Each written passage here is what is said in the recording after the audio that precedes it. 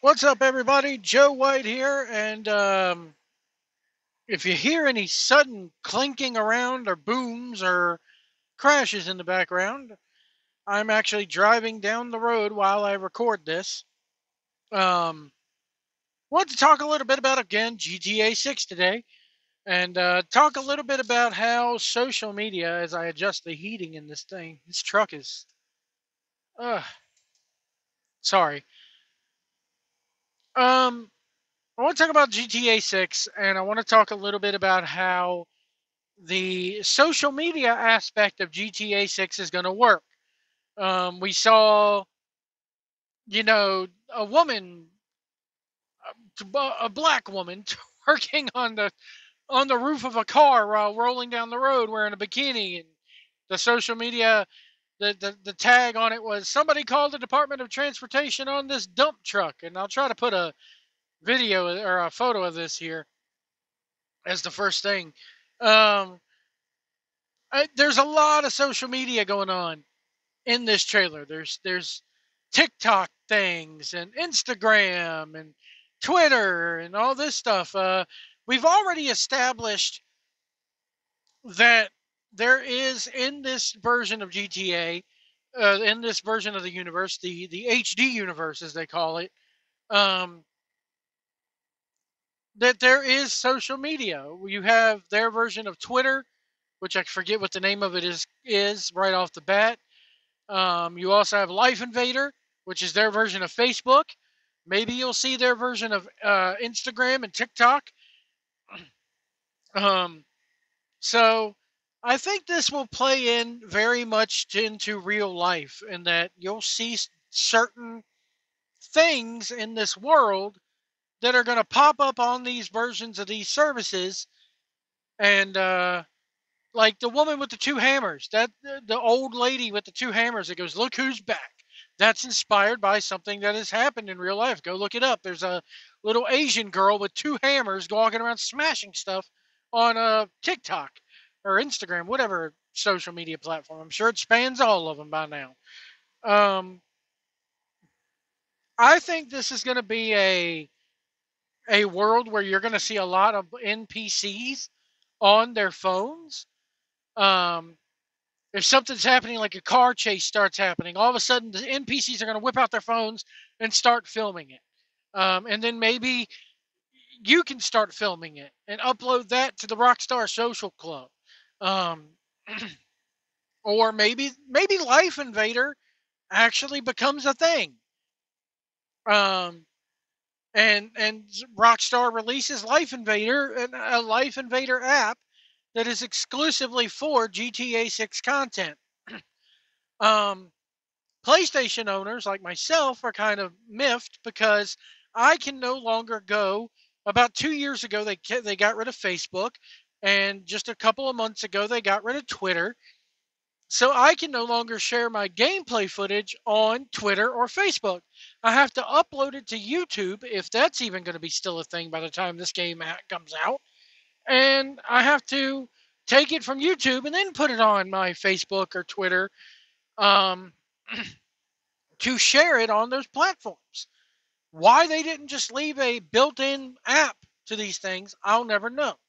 Um, so I think also it's going to play into a lot of politics in the game. Um, pol- you know, you're going to see a Donald Trump like character in this game. There's no doubt about it. You can't satirize this country and the things going on in this country without having Donald Trump or a Donald Trump esque figure in there. Um, it's it's hard to believe, but when GTA 5 was released back in 2013, Barack Obama was halfway through his second term, I believe, or just starting his second term. So a lot has changed in the world. A lot has changed with the cancel culture. And I'm sorry, again, I'll say it again. I think when it comes to the video game world, Rockstar is immune from cancel culture. There's no way they're getting canceled. If you can't cancel South Park, you can't cancel Rockstar games. Um, I also think that you know you're going to see like a maybe a version of Logan Paul is in this video game. Maybe Logan Paul himself is going to be a voice in the game. We don't know yet. There's a lot of unknown stuff that we don't know. Um, of course, it's we don't know it because it's unknown. Um, I'm passing a drive-in movie theater up here near Cleveland, Ohio. That's crazy to think. I, I would love to see more drive-in movie theaters around this country. Anyway, uh, sorry, I got off topic. That's why I shouldn't be driving while I'm recording. But I'm trying to kill two birds with one stone out here today. Um, let's see. I, as far as social media goes, get, trying to get back on track. I think that also, you know, we'll see them implemented in the story. Maybe you have to do missions for one of these social media influencers. I hate the term influencer because you don't influence me at all, and no, nobody should let themselves be influenced by you. Um, nobody should be influenced by a Logan Paul or a Pokimane or anything like that. Um, you know, maybe we'll see. Maybe maybe you can get in-game cash and become monetized on Life Invader. Maybe you could become, you know, film your robberies and have them broadcast live on the Life Invader app or something like that. We know it exists. They would not have focused this hard on it in this trailer. There would not have been such a hardcore focus on the social media apps and on social media playing an influence in the life they're in this world if they were not going to feature it in some way. Sorry.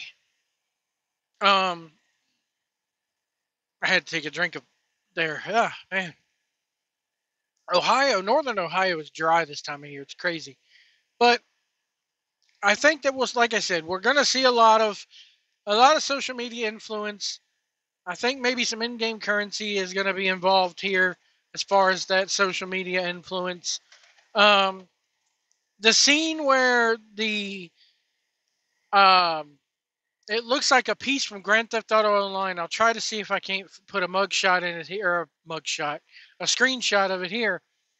There's a scene where it looks like something out of Grand Theft Auto Online, where there's a character with their face all tatted up, and um, they're taking a mugshot, and it kind of looks like something you would do in GTA Online when you would create your character, but that's based off of a real life person, and that real life person is calling out Rockstar Games for it. I read it on Kotaku the other day that this person whose face is all tatted up, whose videos got out there, it's very clear that Rockstar took influence from this person. Again, Rockstar loves to take things from real life and include it in the real in this video game world. I mean, look at what happened with GTA 5.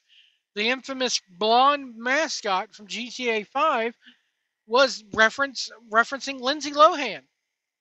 And I believe Lindsay Lohan either did sue or was contemplating suing Rockstar Games out of it.